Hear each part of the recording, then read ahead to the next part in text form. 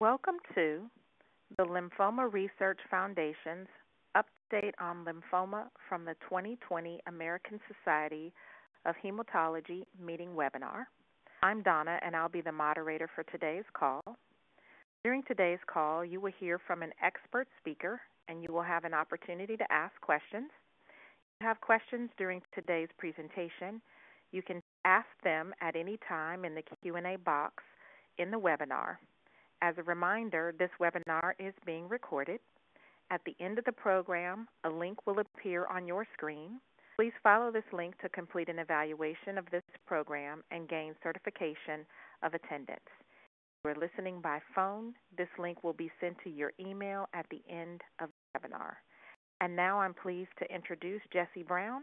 Jesse Brown is the Associate Director of Patient Education at the Lymphoma Research Foundation. Welcome, Jesse. You can begin. Thanks, Donna. And thank you to each of you for taking the time to join us on today's update on lymphoma from 2020 American Society of Hematology webinar. We'd like to thank our sponsors of this webinar, Bristol Myers Squibb, Genentech, Kite a Gilead Company, and Regeneron.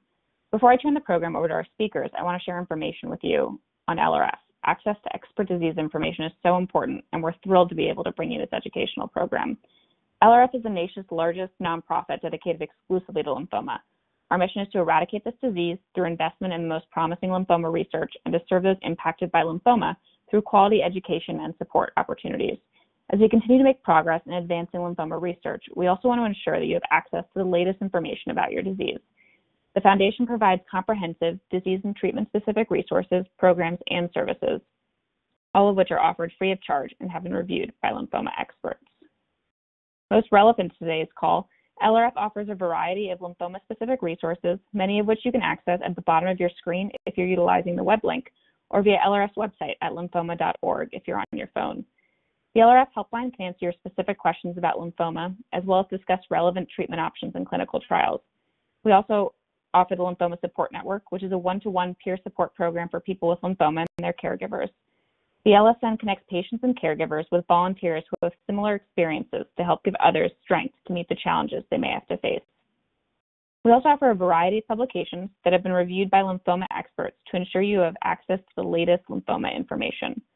Our mobile app, Focus on Lymphoma, is an award winning app that provides patients and caregivers access to comprehensive content as well as unique tools to help manage your disease.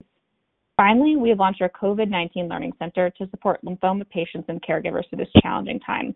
Please visit our Learning Center for access to webinars, articles, and other resources specific to COVID-19. We'll also have a webinar on updates on COVID-19 from the 2020 American Society of Hematology later this month. Please visit our website or call our helpline to register. I really hope you'll take advantage of some of the great resources and services that LRF provides. If you have questions regarding what you've heard today, or if you need information about relevant treatment options and supportive care resources, you can reach out to LRF through our website at lymphoma.org or by calling our helpline at 1-800-500-9976. We have a wonderful program planned for you today with two expert speakers, and I'm honored to first introduce you to Dr. Sonali Smith. Dr. Smith is the chief of the section of hematology and oncology and co-director of the lymphoma program at the University of Chicago.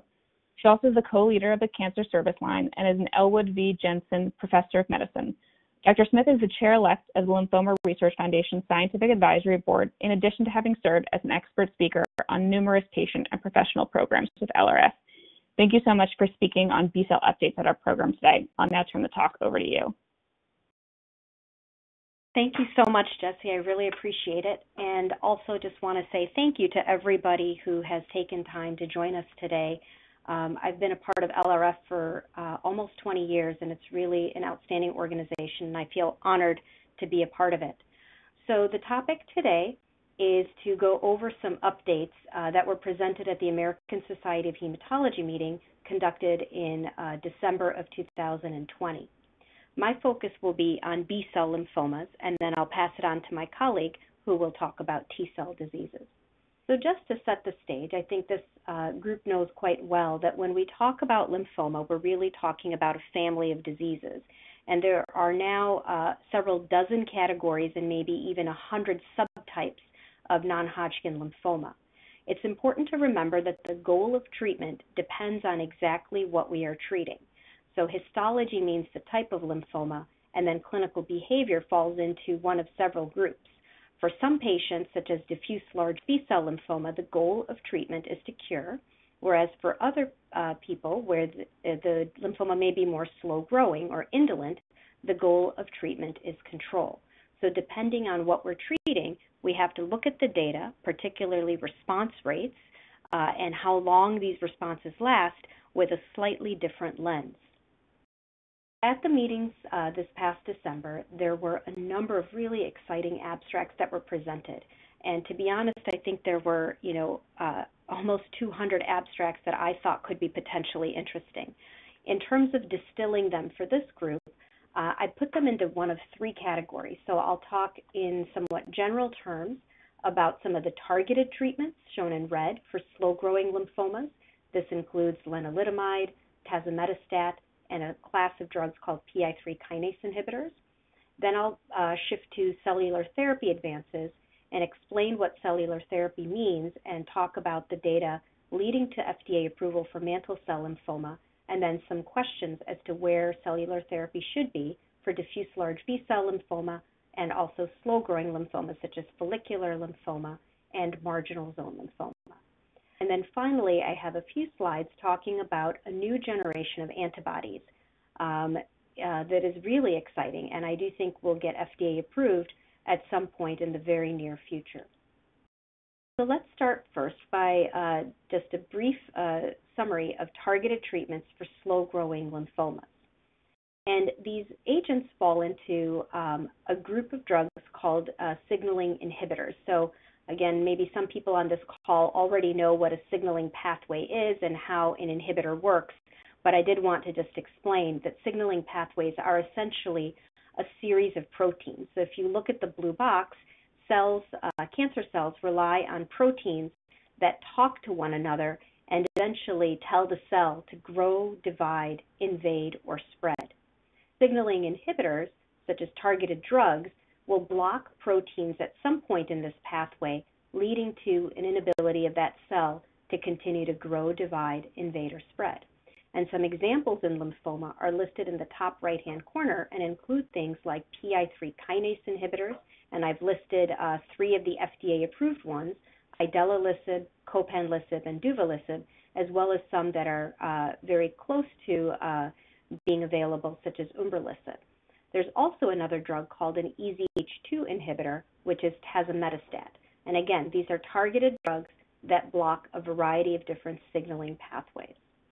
There's also uh, information on immunomodulatory drugs. And here I like to think about it as the cancer cell or the lymphoma cell uh, being the seed that requires the right type of soil to grow.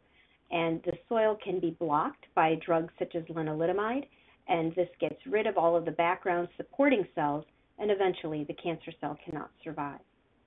With those two pathways or mechanisms in mind, some of the uh, data that was presented this year at ASH uh, focus on exactly those three groups of drugs. So tazemetostat is a new drug. This is an oral agent that was FDA approved in 2020. It blocks a, a protein called EZH2, and the gene for this protein can be mutated in patients with follicular lymphomas as well as some marginal zone lymphomas. The data is strongest for follicular lymphoma, where having an EZH2 mutation makes that particular lymphoma more likely to respond to a treatment such as tazemetostat. What was presented at ASH this year was an update of the tazemetostat data, but also showing it in uh, combination with lenalidomide and rituximab and this is a clinical trial that is ongoing and available to people um, with follicular lymphoma. There were also updates on lenalidomide, which is the second bullet point listed here. So again, this is a pill, and it seems to work better when it's combined with rituximab. And what was shown at ASH is an analysis of a trial called the AUGMENT trial, specifically focusing on people over the age of 65. And what they showed is that lenalidomide and rituximab works uh, very well in patients who are over the age of 65, with the vast majority of patients going into a complete remission and having this complete remission last for several years. This is very exciting for a disease like follicular lymphoma, where for a long time we have used rituximab alone. And this particular study combined lenalidomide rituximab against uh, lenalidomide, I'm sorry, against rituximab alone, and shows that the two together are better than than rituximab. There's also um, some data, uh, this uh, sort of the third uh, dash within the second bullet, showing that lenalidomide and rituximab can also be used in people who have not been uh, previously treated. This is also um, listed, at least in NCCN, as an option. Uh, but what they really showed is that not only can we get people to go into a complete remission by CT scans or PET scans, but even by very sophisticated tests such as molecular tests. And then finally, the third bullet here is on PI3 kinase inhibitors. And at ASH this year, we specifically heard uh, some information about copanlisib, which is a PI3 kinase inhibitor, added to rituximab in patients with follicular lymphoma who had not previously been treated, and uh, showed again some very promising activity as well as duration of response. And then finally, umbralisib and ublituximab are two drugs, a PI3 kinase inhibitor and an antibody, that are also being tested. When it comes to cellular therapy, um, I'll cover just a few uh, pieces of information about mantle cell lymphoma, diffuse large B-cell lymphoma, and indolent lymphomas. So what is cellular therapy? Typically, when we think about cellular therapy, we're talking about chimeric antigen receptor T cells. So this is a technology where if you look at the T cell at the top right of the picture, uh, these T cells are essentially transduced with something called a lentiviral vector that allows the cell to now make a protein that has two sides to it. And this is shown in the box to the left. The outside binds to whatever target you want it to be. And in lymphoma's case, it's CD19, which is a protein on your lymphoma cells. The inside part of the receptor activates the T cell once it finds its target. So once the um, the uh, CAR T cells are given, if they find their target, they end up killing that particular cell and activating the immune system. This process and this technology is FDA approved for people with diffuse large B cell lymphoma that has come back after two prior lines of therapy. And the question at ASH this year was what are some other places we can use this? So um, there are three uh, CAR T products that are furthest along. So if you see this in the literature, they can be nicknamed Axi-cel, Tisacel, and Liso-cel. And all three products are slightly different in terms of how um, what their side effects are and when uh, the side effects occur. But largely speaking, I think it's very difficult to compare the three at this time. So what was new at ASH was uh, there was an update of cellular therapy or CAR T in people with mantle cell lymphoma that has come back after prior treatment. Um, so this was FDA approved in July of 2020, and the update looked at 68 patients that had up to five prior treatments, and they found that the majority of patients responded, and that the uh, that the response lasted for uh, at least for as long as the trial was the follow-up, which is almost two years. In terms of side effects, there was nothing new that was identified uh, compared to other cellular therapy trials. Uh, it's important to know that 37% of patients did have serious side effects, but in the vast majority of patients, these resolved uh, with, with following treatment. So looking at the actual uh, results, 92% of patients with mantle cell lymphoma that had been so heavily pretreated responded, with 67% of patients going into a complete response. And with 18 months of follow-up, about half of the patients remain in response. And if patients had a complete response, they're uh, doing even better uh, with, with about 70% of people staying in, in remission. So this was FDA approved in 2000 and a step forward for mantle cell lymphoma. Now, what about diffuse large B-cell lymphoma? Um, we know that when people are first diagnosed, the standard of care is to give a combination of drugs called R-CHOP. But what we know is that although R-CHOP can cure a good portion of people, it does not cure everybody. And if you look at the bottom uh, part of the slide on the right, there are a number of uh, predictors for who may or may not be cured with R-CHOP. And so the key challenges for research in this area is to increase the number of patients cured with frontline treatment and then also find better options for people if the disease comes back or does not respond at all. So with this in mind, there was a very interesting trial. Um, if you start up at the top left corner, that looked at patients uh, who were considered to have high risk diffuse large B cell lymphoma. And they defined high risk in this study as people who had double hit lymphoma. This is something where there's two uh, genomic rearrangements of MYC and BCL2 uh, that makes it more resistant to chemotherapy, or if they had a high prognostic index, something called a high IPI. In these patients, um, they all started with standard chemotherapy, either R-CHOP or EPOCH-R, and then a PET scan was done after two rounds of therapy. If the PET scan showed that there was still disease or, or if there was new disease, then those patients were taken off of their R-CHOP or EPOCH-R and went straight to cellular therapy, this time with the product called Axi-cel. This is a small study, so if you look at the results at the bottom, there were 23 patients who were included, and the follow-up has been about uh, one year, which is a little bit on the shorter side. There were some typical side effects seen that we expect with cellular therapy, but what's really exciting is that 74% of patients had a complete response to the Axi-cel therapy, and that the T cells, when they tested them in the lab, seemed to be very effective. They were more fit uh, than, for example, T cells in patients who have had lots of prior therapy.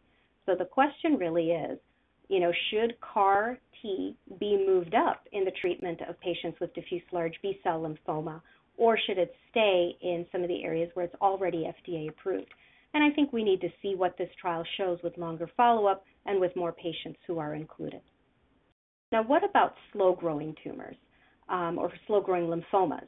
You know, these are lymphomas such as follicular lymphoma, marginal zone lymphoma, lymphoplasmacytic lymphoma, and uh, and you know these are lymphomas that we know we can control for a long period of time, but we cannot technically cure them. And there may be some patients where the disease has come back multiple times and standard treatments may not be working. So in this setting, cellular therapy or CAR T was tested in a trial called the ZUMA 5. So this included uh, 84 patients who had follicular lymphoma and 20 patients who had marginal zone lymphoma. The uh, median age was 61 years old. There were some patients who were in their 70s, but most people were in their 60s. Um, these were patients with follicular lymphoma or marginal zone lymphoma that had a lot of prior treatment. Um, two thirds of the patients had at least three prior types of therapy, and two thirds of patients had disease that was no longer responding to any of the standard approaches. Um, the results for this trial um, are that almost everybody responded to the cellular therapy. 94% of patients responded, and in follicular lymphoma, 80% had a complete response, meaning that, it dis- that the disease disappeared with a PET scan. In marginal zone lymphoma, which was a smaller group of patients, the, the response rate was 85%, and 60% had a complete response. Um, there were the expected side effects from cellular therapy, which include some low blood counts, infection, cytokine release syndrome, um, and some toxicity to the to the neurologic system. Um, and very few people actually died during this study, but there was at least one uh, death that may have been related to therapy. But I think what's exciting here um, is that there is activity. The big question is uh, is this a cure? Is this meant for everybody? And has the follow up been long enough to know what these early response rates mean? And the answer really is that we have to wait. This was an initial investigation, and I think there are many people who are very excited about this, but it's certainly not at a point where we can uh, really understand how to uh, put this into practice, and it's certainly not yet FDA approved. So the take-home messages for the cellular therapy part of this talk is that CAR T is a type of cellular therapy that engineers a patient's own T cells to better attack lymphoma cells. Uh, it's currently FDA approved for people who have diffuse large B cell lymphoma that has come back after two lines of prior therapy. It is also newly FDA approved for patients with mantle cell lymphoma that has returned after prior treatment, and there are some investigational uses that I just shared with you. So the last part of what I will cover is enhanced and bispecific antibodies. And again, by way of background, an antibody is a protein that the body naturally makes and can also be engineered in a lab. And the protein has different pieces to it including the top part. If you look, it's a Y-shaped protein that has a lot of different components. But if you look at the top part of the Y, this is what binds to the target. So if that target is CD20, that's what how rituximab works. If it's CD19, that's how a number of other antibodies work. Um, so there is now a new antibody called tafasitamab that was FDA approved last year Um, and this is an, an, antibody, a monoclonal antibody that attacks a protein called CD19 that lives on lymphoma cells. Um, in a very, uh, you know, exciting study, this was combined with lenalidomide and found to have uh, activity in people who have diffuse large B-cell lymphoma that has come back after multiple lines of prior therapy. So now it's important to know that this uh, antibody attacks the same protein that CAR T does. And there have been a lot of questions as to what do we, you know, what can we do for patients who um, uh, have relapsed or refractory diffuse large B-cell lymphoma but cannot get to CAR T. And I think in that particular setting, tafasitamab now is added to the list of options for people in this situation uh, and has a response rate of about two thirds percent. I'm sorry, two thirds, and uh, the vast majority of responders have remained in remission now nearing two years. So uh, to list some of the options for people with diffuse large B-cell lymphoma where CAR T or transplant is not an option, I think clinical trials is still very important, but the three items listed in green are newly FDA approved within the last year or two uh, and updated based on uh, data that was presented at ASH. So what, uh, what about other ways to make antibodies work better? There's a new and very exciting area called bispecific antibodies. So this takes that same Y-shaped antibody that, we, that I presented a few slides ago and takes pieces of it and combines it so that instead of binding to just one target, these antibodies bind to more than one target. And there's different ways that you can combine them. Um, bispecific means that you're uh, targeting two different proteins. So instead of just being against CD19 or just being against CD20, these are uh, drugs, antibodies, that bind to more than one target. And in particular, what they do is they'll bind to a B cell, which is the cancer cell in this case, and also bind to a T cell. And this brings the patient's own uh, immune system right where the lymphoma is, with the hope that it will get rid of the lymphoma right, right where the, the lymph nodes are enlarged. So there's different types of engineering that can be given uh, or designed uh, for these bispecific antibodies, and I've just listed a few of them. The reason they're important is that depending on what the structure is, these antibodies can live for a very short period of time, which means that you might have to have a continuous infusion in order for the antibody to be around enough, hang around enough. Or if you can engineer them where they last a little longer, they can be given maybe once a week uh, or even less often. And so here's just a cartoon showing if you have a bispecific antibody that it can bind to your tumor cell and the T cell and bring everything together so that you can get the most amount of killing within a local area for the lymphoma. So at ASH this year, uh, there were multiple new bispecific antibodies that were presented. Um, and what was exciting is that uh, not only are these a special type of immunotherapy, but they can be combined safely with chemotherapy or other agents, at least in some of these early clinical trials. Um, some of the side effects is that you can activate these T cells a little too much and get the cytokine release syndrome, but that overall these were very safe. They could be given as an outpatient, and some patients had very long uh, duration of response um, that was really exciting to see. So um, I listed here just five of the clinical trials that were presented and the two uh, anti, two uh, targets that they attack. So, for example, the bispecifics in this top red one are against CD20 as well as CD3, so they bring a B cell and a T cell together, and then the bottom one is against CD19 and CD3. So, very exciting new class of agents that I think we're going to hear a lot more about in the coming year, um, and hopefully will lead to an FDA approval at some point in the next couple of years. Uh, when I think about where these bispecific antibodies might go, again, I think for uh, people with diffuse large B cell lymphoma, uh, there's some potential that patients who can't get to CAR T or transplant might really benefit from these less uh, toxic and less intensive uh, approaches. So the take-home messages on antibody treatments is that targeted treatment with antibodies has been very effective for lymphomas, remembering that rituximab is actually the first antibody to be FDA approved for use in human cancer, and that there are new approaches to improve antibody treatment, including um, uh, uh, attaching a payload. I didn't talk about this, but that's how brentuximab vedotin and polatuzumab vedotin work. Uh, engineer the antibody to work better, such as tafasitamab or obinutuzumab, or combine targets to make specific antibodies. So just to summarize before I turn it over to Dr. Haverkos, um, ASH 2020 was very exciting. We have a number of new approvals that are listed here, and we have some new treatments that are on the horizon, including bispecific antibodies and expanding the role for CAR T.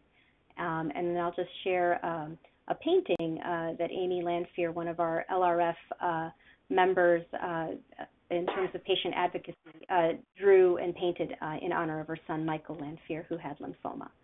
That I will stop and turn it over to Dr. Haverkos. Thank you. Thank you so much, Dr. Smith. Um, we'll take all questions at the end as I'm now honored to introduce Dr. Brad Haverkos. Dr. Haverkos is a hematologist and assistant professor at the University of Colorado Medical Campus, where he also serves as the Mature T cell lymphoma leukemia program lead. Dr. Haverkos has also served as expert speaker at numerous patient programs for LRF. Thank you so much for speaking today. I'll now turn the talk over to you. Thank you so much, and thank you all for, for joining and uh, letting me be your T cell lymphoma doctor representative. It's an honor to uh, present to you all today. so at ASH, like Dr. Smith was saying, there was uh, really a lot of exciting presentations, including some really nice work in T cell lymphomas, and um, I want happy to present all these to you. So, just by way of uh, some introduction, uh, T cell lymphomas and what we're discussing today are really mature T cell lymphomas. Uh, just uh, briefly, uh, T cell lymphomas, uh, T cells begin their sort of development in the bone marrow, and they get matured in the thymus and get educated, and then they traffic and go to all sites of the body. And they, um, one of the uh, T cells can go to either blood, lymph nodes, spleen, spleen, or the skin, and and we they, they get this name sometimes peripheral T cell lymphomas uh, because these T cells are trafficking to all these sites uh, in the body peripherally. And so we're discussing today, we'll discuss um, the updates on mature T cell lymphomas. So, lymphoma um, can be broken down, like Dr. Smith was was uh, shared there, uh, into Hodgkin lymphoma or non-Hodgkin lymphomas, and based on the type of immune cell that's affected, uh, we have uh, break things down by whether they're T cells, NK cells, or B cells. And uh, within T cell lymphomas, we think about them, uh, or they can be divided based on whether they are primary cutaneous diseases or a systemic or nodal problem. Um, and then similarly, we can describe them as or characterize them as either an indolent disease or an aggressive disease. Uh, where you see most of these, uh, the primary cutaneous T cell lymphomas really live uh, in the indolent t- uh, world, where these are the slow growing lymphomas that, that often we don't cure, um, but that we do have a number of treatment options for them. Uh, whereas these peripheral or nodal um, T cell lymphomas, there's only a small portion of them that we would consider really slow moving diseases. Whereas the opposite is true um, in the aggressive uh, categorization of T cell lymphomas. We see that the vast majority of those are peripheral uh, T cell lymphomas or nodal T cell lymphomas, and only a but a small portion of, of primary cutaneous T cell lymphomas can be aggressive. So I just wanted to provide that as some uh, context, and I'll break really the rest of my talk up uh, based on whether things are cutaneous T cell lymphoma or a peripheral uh, aggressive T cell lymphoma. So, first, discuss some of the updates in cutaneous T cell lymphoma. Uh, first, we know that cutaneous T cell lymphoma is an indolent disease. It is, uh, again, one of the slower moving lymphomas, slower, slower moving indolent lymphomas. We treat cutaneous T cell lymphomas uh, based on their stage, where early stage disease is often treated with just skin directed uh, therapies, and the more advanced stage diseases get treated with other uh, systemic diseases.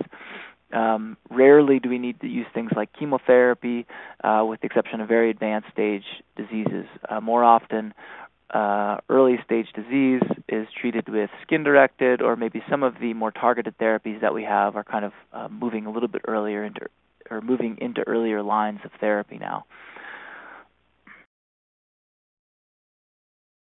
And I'm not going to go into all the all the therapies that exist for cutaneous T-cell lymphoma, just to sort of keep in mind that that early stage disease is is really treated with skin-directed therapies for the most part, um, with uh, the exception of now some of these better therapies that we have and more targeted therapies are getting used a little bit more in early stage disease. Um, but but we tend to wait until people have progressed after skin-directed therapy before they would need some of these systemic options.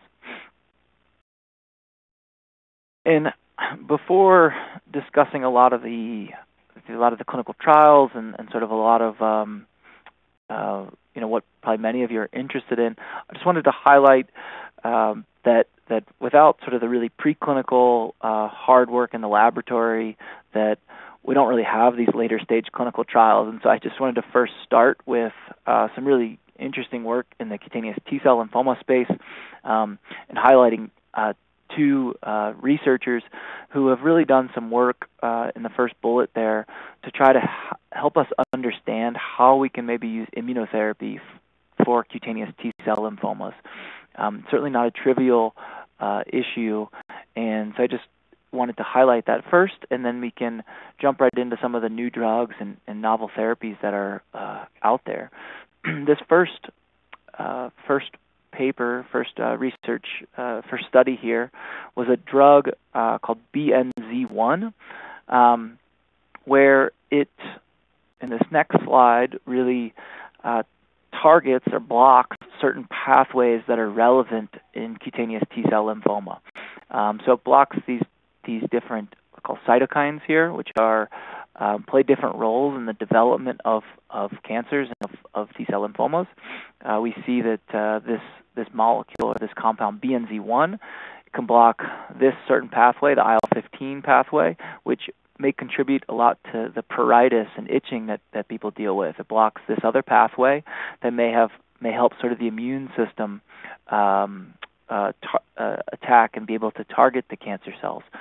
And then it targets this other pathway, IL2, that may actually directly prevent the lymphoma cells from growing. And so I think this is just one of the the really kind of exciting preclinical uh, to now clinical work that that we'll see um, in the cutaneous T cell lymphoma space, and and I look forward to the further development of this drug.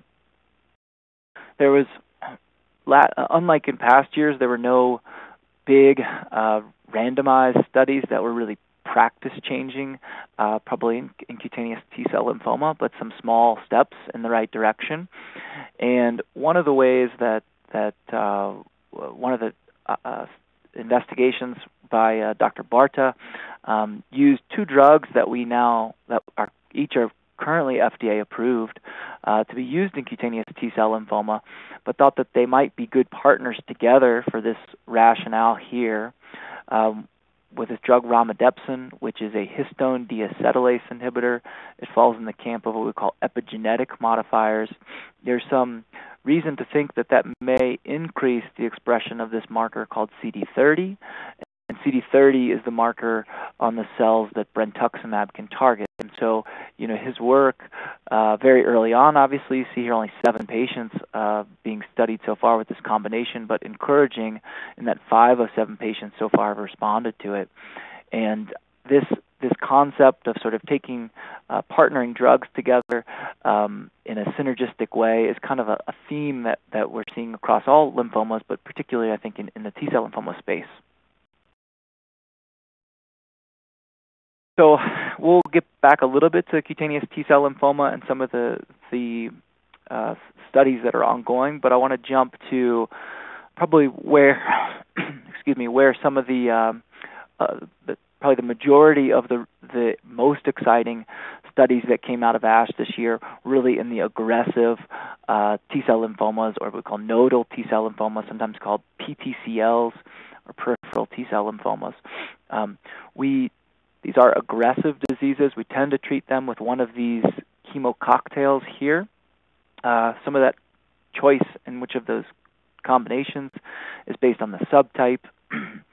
Uh, but people get initially six cycles of uh, chemotherapy, and then we consider the role of autologous uh, bone marrow transplant at the end of uh, six cycles, assuming people are responding. so first, just to provide some updates, um, we know that that those regimens that I just discussed, the CHOP, CHOEP, brentuximab CHP, uh, with at least the first three regimens, CHOP, CHOEP, and EPOCH, most patients, um, most people will probably relapse, and so we are constantly trying to find new ways uh, to improve upon that and find new therapies. So this first study here, uh, this was not presented for the first time, Echelon 2 this year, but was updated by Dr. Horwitz. So this is a randomized study that looks at brentuximab plus CHP versus CHOP, with CHOP being a historical standard in this disease. And he provided us an update that basically continues to show that brentuximab plus CHP in the population of patients that are CD30 positive, which again is what brentuximab targets, um, th- that this regimen, brentuximab plus CHP, is better than CHOP. Um, and it improved both progression-free survival as well as overall survival in this population. So has certainly become a standard for this population of patients that are CD30 positive. Uh, that is, you know, maybe about a third of patients uh, with with T cell lymphomas that have CD30 positivity.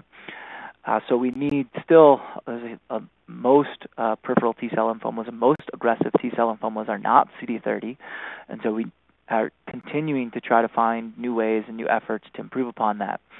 The uh, uh, French group uh, presented a randomized study that compares romidepsin, which is a again a histone deacetylase inhibitor currently FDA approved, with CHOP as compared to CHOP. Um, so it randomizes one to one uh, with each of these uh, approaches, and unfortunately, there was no difference uh, between romidepsin plus CHOP and CHOP um, with regards to progression-free uh, survival, or, or, so there there was not an improvement with romidepsin plus CHOP. Um, this was uh, maybe a bit surprising to some. Um, the one thing that, that came out of this, and I think certainly warrants further investigation, is that we see that the romidepsin, or what we call Ro plus CHOP uh, arm, there were significant reductions and dose delays, requiring many people to not get all their cycles of chemo. And people kind of hypothesized that that may be a contributing factor to why this uh, this regimen romidepsin plus CHOP was not better than CHOP. Um, and there, and we also are learning that certain subtypes, uh, specifically this this subtype of aggressive T cell lymphoma called angioimmunoblastic T cell lymphomas may uh, seem to do better even as a single agent with romidepsin.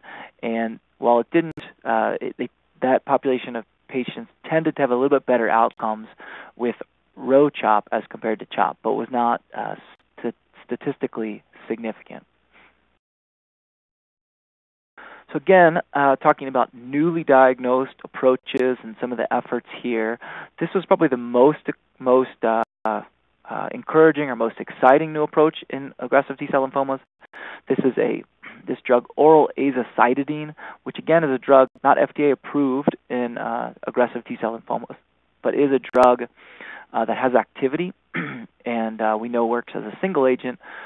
So this is a phase two study that looked at oral azacitidine, which is a we call a hypomethylator. Again, this is a similar, uh, it's an epigenetic drug, so it's kind of similar in the same camp as the romidepsins, but very different mechanism, um, or slightly different mechanism, I should say. Uh, but this regimen in a, uh, a small study, 21 patients, was very encouraging, where it had 85% overall response rate. Um, so that's you know certainly better than what we'd expect to see with other regimens. This is obviously early on in its investigation, but definitely an exciting um, approach, and it's already led to a bigger, larger randomized study that's um, in a cooperative group setting where we're comparing this regimen azacitidine plus CHOP or with uh, or with CHOEP actually, as compared to duvelisib, which is another drug we can discuss, um, with CHOEP uh, versus CHOEP by itself. So this is a you know phase three trial that's um, we will of course wait and see the results of, but very very uh, exciting trial um, uh, that will that will um, commence and, and and look forward to it in this disease. Another trial that we want to highlight, I mentioned before, brentuximab plus uh, CHP. So that was studied in the setting of CD30 expressing T cell lymphomas or CD30 positive T cell lymphomas. Uh, so this is a, a study um, where we're looking at if people with less than uh, or sort of low level CD30 expression who technically would not have been eligible for that prior randomized study to see if they'll benefit from brentuximab plus CHP. So this will be another exciting ongoing trial that we look forward to in years to come. And I highlight lastly here some uh, nice preclinical work again that we're looking at trying to pull out subsets, trying to better understand uh, um, which which uh, aggressive T cell lymphomas may benefit from certain therapies, and there seems to be a population of aggressive T cell lymphomas that that harbor this mutation, and um, uh, they that that may be predictive uh, of response to certain drugs, as well as uh, and we may want to target or use different approaches in that that cohort of patients. So, you know, making small steps towards trying to figure out which patients uh, will benefit from which drugs and which approaches, and I can see sort of many years from now that we have sort of a number of good uh, frontline approaches to depending on what subtype of T cell lymphoma uh, you have. Moving to the relapse setting, um, of course, we have the three FDA approved drugs here, um, which with uh, less than ideal response rates, and we of course want to uh, look at some of the studies um, in the relapse setting to do better to try to get more uh, exciting, novel, uh, targeted therapies with better outcomes in that space. Uh, Dr. Pro uh, updated us on the data for duvelisib, which is a PI3 kinase inhibitor that you heard briefly about with Dr. Smith. And this, you see here, uh, this is combining kind of phase one and phase two uh, data for this drug duvelisib by itself in the relapse setting with aggressive T cell, aggressive peripheral T cell lymphomas. And we saw an overall response rate of 40%, which again, if you think back to the slide I just showed, is higher than uh, those those studies. So it, it's definitely an encouraging um, encouraging uh, approach that I think it it is working towards uh, probably approval at some point in the near future. Um, getting back to the combination approaches and uh, really immunotherapeutic approaches in aggressive T cell lymphomas, romidepsin, again, a drug we know is approved to see if it might partner well with this immunotherapeutic drug pembrolizumab. And in a small uh, a small number of patients, as most of these studies are, uh, we saw a 53% overall response rate, which was encouraging, and, and we will continue to uh, evaluate that. And I think um, the this strategy of combining uh, maybe immunotherapeutic drugs with other drugs is something is a theme that you'll see as probably the rest of my slides go through here. And highlighting this last bullet on this slide is that there may be patients um, uh, that don't benefit from, say, romidepsin plus pembrolizumab, and we're trying to sort of, as always, trying to understand which aggressive T cell lymphomas benefit from which drugs. And in this study, they showed that maybe certain markers may be suggestive of response. So there's a number of uh, immunotherapeutic trials in the relapse setting. This is a another drug, kind of like pembrolizumab, targeting a very similar similar molecule. Um, and I highlight this not because it was a good um, a good uh, outcome in terms of the study, but highlighted that as a single drug, this av- avelumab is not a good drug for T cell lymphomas, but that maybe with the right combination, potentially like with that romidepsin that I just mentioned, is a good combination. And so I, uh, these are all uh, things we're evaluating here. Similarly, nivolumab uh, which is a immunotherapeutic drug uh, in combination with standard uh, chemo, gemcitabine and oxaliplatin. Uh, not overly exciting again, but I think it's and so these two strategies may not be strategies we see in the future, but that doesn't mean that these drugs are not drugs that can be utilized. We need to really build build things uh, from kind of the, the bench to the bedside and truly understand and try to try to figure out why uh, drugs like nivolumab or what their right partner might be. And you'll see um, in this next slide that they tried to f- figure out which patients might benefit from from this from uh, this approach of uh, of uh, the checkpoint inhibitor immunotherapeutic approach with GemOx, and they tried to really you know figure out if there was a certain subset that maybe benefited more. Um, they to this point couldn't really clearly sh- show uh, which patients benefited, but I think these are these are important things that we need to look forward to try to understanding as we move forward. Is a, uh, study that is open to all EBV or Epstein Barr po- Epstein Barr virus positive lymphomas, but so it's open across B and T cell lymphomas.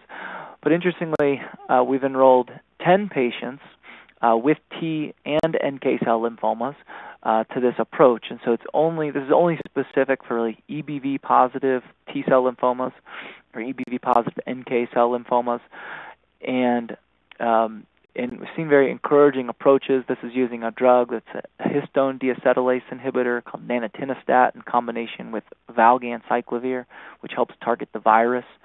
Um, I, I, highlight this uh, in part because it shows really how we are uh, taking this heterogeneous disease of T cell lymphomas and trying to pull out the subsets that really might benefit from specific therapies. And this is a great example of saying this is the these are the EBV positive T cell lymphomas. We think that they're going to benefit from this approach, and then using that approach for, for these for this population. And so I think it's a great model of, of how we are sort of approaching um, uh, uh, this this heterogeneous disease across the board. Additionally, in NK cell lymphomas, there was a nice another immunotherapeutic trial using a checkpoint inhibitor in combination with a different histone deacetylase inhibitor that was really encouraging. it's from a Chinese group that, um, and they kind of highlight here why these this uh, epigenetic drug epigenetic drug chidamide might combine well with a checkpoint inhibitor. So then, just kind of finishing up and going back to uh, uh, both CTCL and PTCL. So in the relapse setting, we uh, often will study uh, all T cell lymphomas. Like I mentioned the, from the get go, some cutaneous T cell lymphoma is aggressive and needs um, and, and cannot respond to many of the FDA approved therapies and need things like clinical trials and and need uh, and certainly need better therapies in that in, in that aggressive cohort of patients. So these are trials that were open in both peripheral T cell lymphomas as well as cutaneous T cell lymphomas. Um, this is a different, really kind of interesting, exciting immunotherapeutic approach where uh, this targets kind of the innate portion of the immune system uh, by by excuse me by blocking a a uh, marker called CD47 that I think is probably better highlighted on this next slide. Uh, CD47 is on can be on tumor cells, uh, and it tells sort of the immune system to sort of uh, say, "Don't eat me" or "Leave me alone," and that way it can grow. And so, by targeting and blocking that CD47, then the tumor cell can then potentially be recognized by the immune system. And the second portion of this uh, this antibody you see here in this Y shape, the green section, tries to help bring the portion of the immune system, uh, the innate portion of the immune system, and specifically macrophages, to the tumor cell to help um, uh, get rid of it. So, really, kind of novel uh, approach, and something that's being explored across lots of malignancies.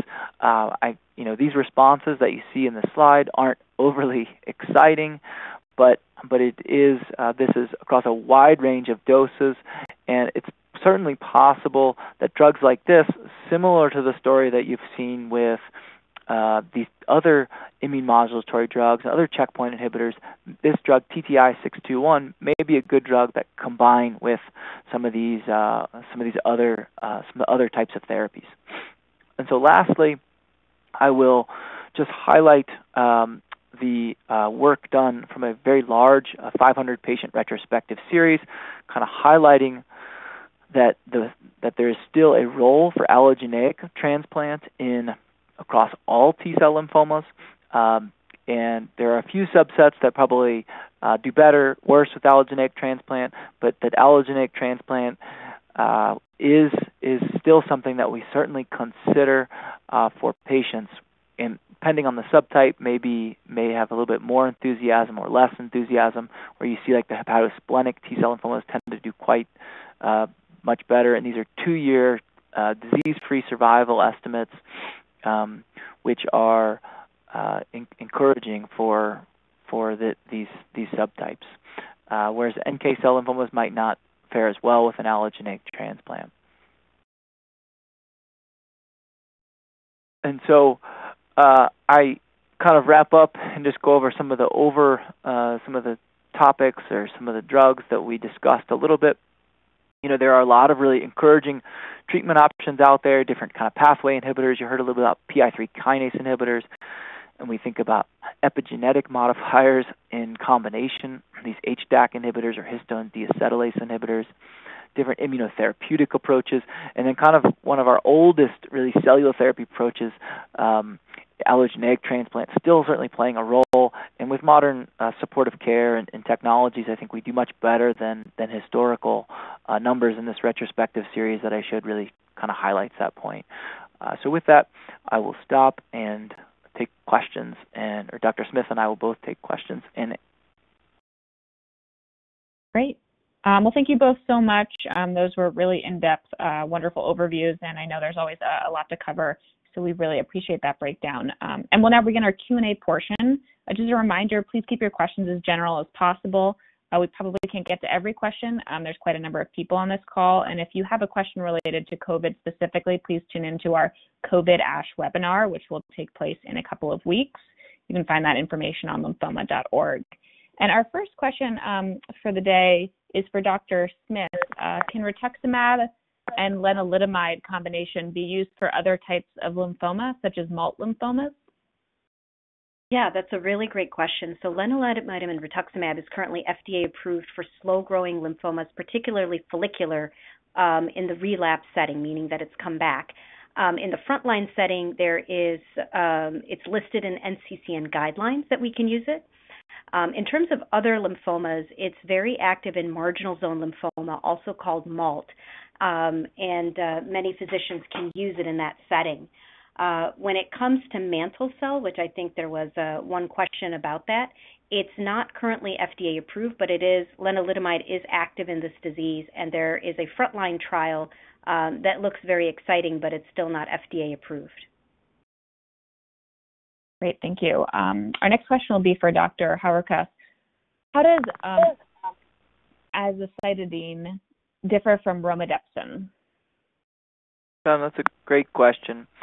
Uh, so they are both drugs that, that fit into the category of what we call epigenetic modifiers, but romidepsin is uh, affects things uh, called histones, so it's a histone deacetylase inhibitor, whereas azacitidine affects methylation.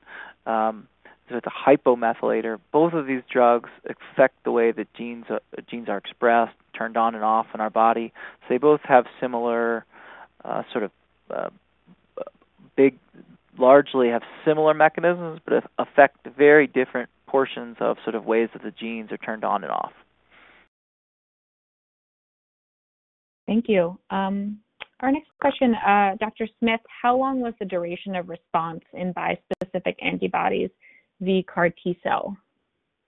Yeah, so the, the challenge is that with the bispecific antibodies, very few of them have uh, have been have been going on for more than let's say six to twelve months. So they're really really new. All we know is that they're active and that in some people they can last quote unquote a long time. But the total amount of time that people have been followed is generally less than a year.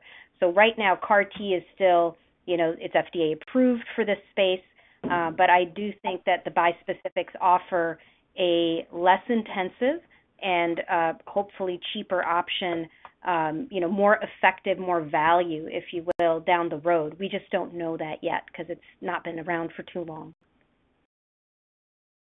Great, thanks so much. Um, next question is for uh, Dr. Haverkos. For allogeneic transplant, is there a type of patient that is best for this option in relapsed refractory T cell lymphomas? Also a good question. Um, complicated answer, but I will try to. There is, uh, of course, um, so allogeneic transplant to even get to the point where that's an option, really have to have really good control of the disease to begin with. Uh, so you need to be, have some sort of response to some prior therapy before thinking about consolidating with an allogeneic transplant. The other difficult thing with an allogeneic transplant is that most states, uh, at least Medicare, does not cover allotransplant for lymphomas in most states. So over 65, while not a a real cutoff or reason to not get an allogeneic transplant, uh, it is not offered. Uh, Medicare will not cover it. So for most places, we won't even think about offering an allogeneic transplant for people over 65. It does vary a little bit based on state, but for most states, that seems to be the case. So it's um, sort of a little bit of a uh, logistical challenge, and um, but there are some real uh, the medical issues. You know, there are a lot that goes into a transplant, um, including things things like a need for a caregiver and need to be close to a transplant center for a period of time. So there are lots of um, supportive care issues or, and uh, issues around that too. But the the biggest one is need to be have disease and good response to even really be considered and, and likely have be under 65. Thank you. Um, Dr. Smith, did the R2 study you mentioned include mantle cell lymphoma patients with both TP53 deletion and mutation? No, the the R2 uh, study that I presented actually was not uh, did not include mantle cell lymphoma at all. It had marginal zone lymphoma and follicular lymphoma, not mantle cell. So for mantle cell lymphoma, uh, there's very limited data, but as I was saying, it's for people who have never been treated before. This came out of Cornell. Um, I was actually one of the authors as well, and it seems very active, uh, but very few people had P53 mutations. So I think we still need a, a bit of data on that. Great, thank you. Um, our next question is for treatment naive. Is it better to start with a monotherapy with indefinite duration or a combo therapy with definitive time therapy? And, and kind of either of you or both can take this question. Uh, I can go ahead and answer that. It uh, has to do mostly with B cell lymphomas, and usually we talk about that in the context of CLL, which is know, not a topic we covered today, but it is a slow growing B cell cancer where there's options for uh, something like a BTK inhibitor that you take forever, a pill, versus chemotherapy, which is shorter. And you know, so far, with very few exceptions, there's no difference in how long people live uh, or the you know um, between those two approaches. So I always think it's a discussion with patients. That being said, I think chemotherapy has less and less of a role, and um, you know the the goal right now is to find uh, targeted treatment and try to test if we can give it for a shorter period of time. And there's actually an intergroup study being run right now um, that may answer that question. Yeah, I, Great, thank you so much. Yeah, go ahead. I guess, I guess as it, as it pertains to, to T cell lymphomas, you know, really, currently we only have in the relapse setting FDA approved single FDA approval for the various single agents that are approved. Um, but I think, you know, as I mentioned, that the field is really moving towards a combination approach for better responses, synergistic. Uh, there are certain drugs that might work well together. I mentioned, and so I think combinations is probably the future for T cell lymphomas um, in, down the road. Great. Thank you both so much. Um, the next question for Dr. Haverkos is which medications have side effects of peripheral neuropathy, if you're able to clarify that? Uh, so there's a lot of, unfortunately, a lot of drugs that can cause peripheral neuropathy. Uh, most the with regards to, to T cell lymphoma, I think the most relevant ones um, are the ones that are included in in upfront therapy for newly diagnosed aggressive T cell lymphomas. So that would be uh, vincristine as part of the CHOP, uh, which is the, the Oncovin or O, uh, and then brentuximab, um, which also can cause neuropathy, which is part of the brentuximab plus CHP uh, combination regimen. Uh, there doesn't seem to be huge differences uh, in rates of neuropathy, uh, whether you're getting brentuximab or the vincristine part of as part of CHOP. But um, both can cause neuropathy, and something that we very closely watch um, when people are getting therapy and make uh, and make dose adjustments when neuropathy occurs in most scenarios. Great. We have um, time for just a couple more questions. Uh, Dr. Smith, um, I know you discussed copanlisib and rituximab for follicular lymphoma. Is that during watch and wait? Um, should someone seek treatment instead of watch and wait? Yeah, that's a really good question. Uh, the study was actually for people who had sim- symptoms. And the reason we wait for symptoms or some indication for treatment in the indolent lymphomas is that we have a number of trials done in the past um, that have compared, you know, observation, active observation versus immediate treatment. And the problem is that uh, exposing somebody to therapy, if they look well, feel well, and you know have no symptoms, does not help them live longer or live better. And so, because of that, we tend to wait to treat until there's a sign. One day, if there is a treatment that works that can cure the disease, um, you know, maybe then we would treat people who have no symptoms. But until then, um, we do wait. And the copanlisib study was no different.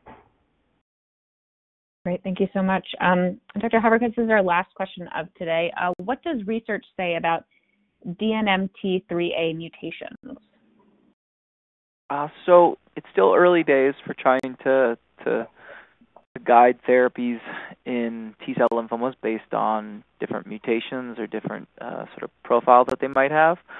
But it seems that the patients that have a DNMT3A mutation may um, have different outcomes than, than patients that do not, and they also may be sensitive to certain drugs, uh, particularly like the hypomethylators and the azacitidine. Now, this is still, you know, not not something that's FDA approved and not something that necessarily we can use clinically yet, but I think is certainly where the field is going. Um, just like I, I had mentioned that certain subtypes of aggressive T cell lymphomas um, can benefit maybe more so than other drugs uh, more than other subsets. Um, I think DNMT3A patients may benefit from um, drugs like azacitidine, and I think that's that's uh, certainly where where the field is going, and and and um, so I guess stay tuned. Great. Um, well, I'd like to thank you both so much uh, for taking the time out of today to join us, um, and I'd also like to thank everyone for joining us on today's call. Uh, we had a you know over 500 people here today, and I know everyone had a lot of questions and um, on this really important topic. So we hope everyone found the information both informative and also hopeful. We'd also like to thank our sponsors again for making this program possible: Bristol Myers Squibb, Genentech, Kite, a Gilead company, and Regeneron. Please remember if you have any additional questions or you'd like to be connected with someone else who has been impacted by lymphoma, you can reach out to the LRF helpline at 800 500 9976. Also, at the conclusion of this program, you'll receive an email prompting you to complete a program evaluation. At SU, please take a few moments to complete this as they're very important for us to ensure that we deliver the most useful and meaningful programming. And with that, I'd like to thank you all for joining us and have a wonderful day.